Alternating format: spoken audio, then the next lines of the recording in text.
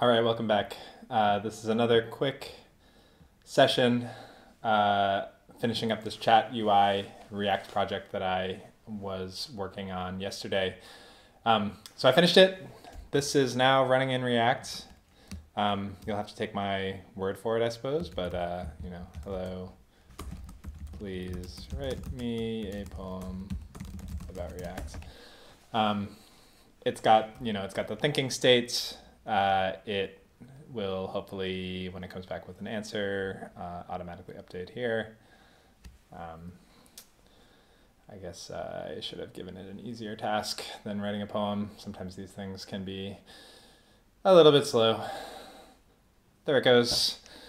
Um, new lines, I haven't gotten the new lines working. Um, I haven't actually even tried doing that. Um, but uh, yeah, so it works. Um, and I, I wasn't able to live code this because uh, I was so kind of rusty and floundering around that it wouldn't have been for, um, even by my standards, it would have been pretty uh, painful to watch how uh, much I had to Google around and read docs and get help from GPT to make this thing work. But I thought I would at least um, not leave you hanging and walk through what I've done. Um, so on the server side, it ended up mapping um, pretty nicely to what I had done originally. Um, so these are the HTMX views. You have kind of the single chat, the post API where you post a new message, and then the sort of polling UI where you wait for the response. Uh, that's while it's thinking. And I ended up having to build analogs for um, each of these things in React. So this one we saw last time. Um, you just get the chat, pass it to the template. Um, this template hasn't changed too much. Um, basically just rendering all that React stuff in this div. I had to pass the chat data, which I was doing before, and also the API URLs, and that's so um, so that React can uh, know which URLs. I, I passed the URLs from Django to React rather than um, hard code them in two places. Uh, so uh, basically Django passes React the URLs and React will use those to know what to do when you um, want to go talk to the server. So that's the review part. Um, now we can look at the new chat message API. Um, and so this I used kind of a normal DRF create model mixin, which is a, uh, a view that they ship with that lets you create models. Um, it's attached to the chat message serializer, which we saw yet last time. Um, the query set filters by um, the logged in user so that we can't do anything with anybody else's messages. And when we post to that API, uh, we get the chat out. We filter by the user uh, to make sure, again, that um, the user has permission to modify that chat. Um, I didn't know if there was a better way to do this with class-based views, but we kind of set some data on the post function. And then um, the post calls this create function, which in DRF uh, then ends up calling this perform create function.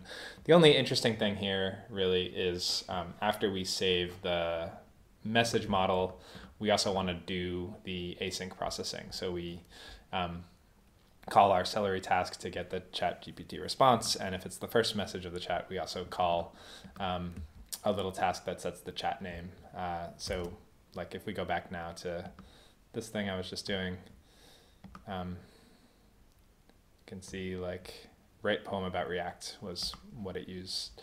Um, and it does that uh, yeah, so this is the non-React version, which has the nice new lines. But if we add React, then we'll see the um, the worst one.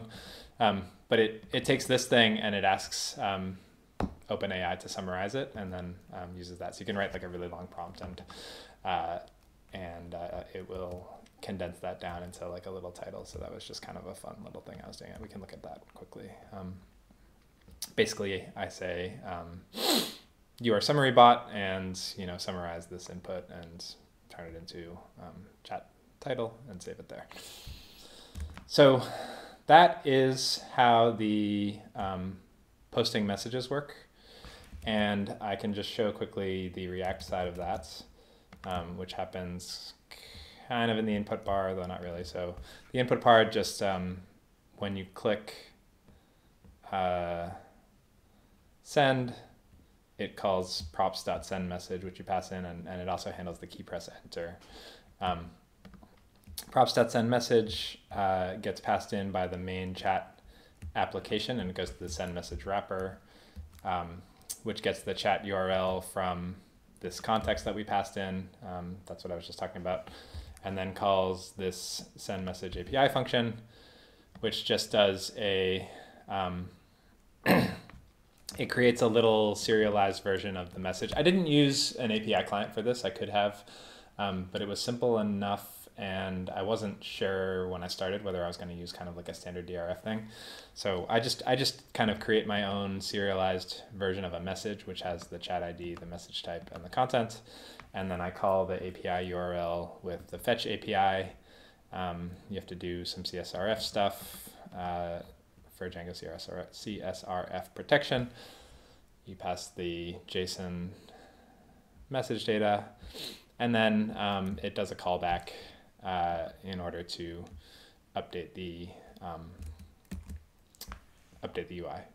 And so in that callback, and now we'll get into kind of the the next um, piece of functionality. Um, one of the things, oh yeah, the other little interesting bit that I had to figure out was um, in this API response, once we um, once we call out to the ChatGPT API, we need to get the task ID from Celery in order to be able to pull um, that particular task and find out whether or not it's finished running. Um, so we kind of just uh, monkey patch that task ID into the API response um, so that in the um, callback here, we can set the task on the model. Um, we can add the message to the message list. We clear the input.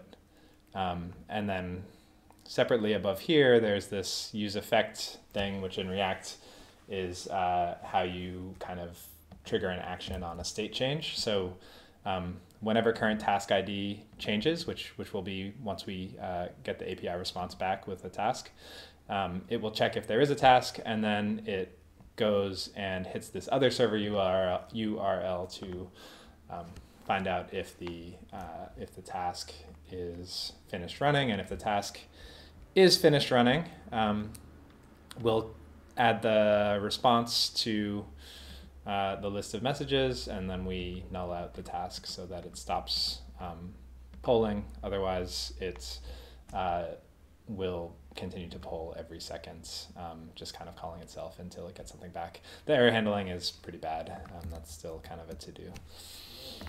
Um, so we can look at the server side version of this, um, the sorry, the server side implementation of this task view, and it's it's very similar to, whoops, very similar to the one we had up above here. Um, so here we were just getting the chat out mostly as a permission check.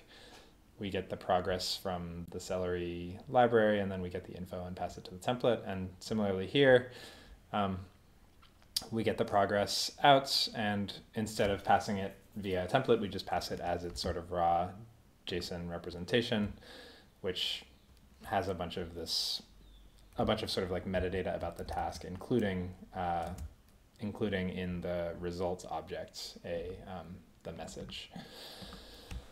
So, yeah, that's basically uh, all that I had to do. It's I probably explained that pretty quickly, um, and uh, it took me much longer than that explanation to piece it all together and to to write it all out. Um, but yeah, that's basically how it works. I'm pretty pleased with how um, how it came together. Building this thing in React was was a pretty nice experience. Um, different pros and cons to HTMX. I I um I kind of like both of them for different things and and get frustrated by both of them in different ways. But um, anyway, that is the um, all that I wanted to say today. Uh, so 150 something lines of um, React application code. Again, I probably should have like split this out into different files and, and whatever else. Um, like I said, my, my JavaScript uh, best practices are a little rusty and um, I'm much more comfortable in the Python world. But uh, it works and it's not terribly ugly. Um, this, this video was kind of an experiment. Let me know if uh, it was interesting or useful, or uh, the sort of live coding, figuring it out as I go version is better. Um, I probably wouldn't have normally published something like this, but uh, I kind of got halfway on the last one and didn't want to um, leave a loose thread. So this should all be in Pegasus probably almost by the time you see this. Uh, so if you want to get all this code and play with it yourself um, and you know start building something that is a ChatGPT clone or off of ChatGPT, um, that will or is available now. Cool. Thanks for watching.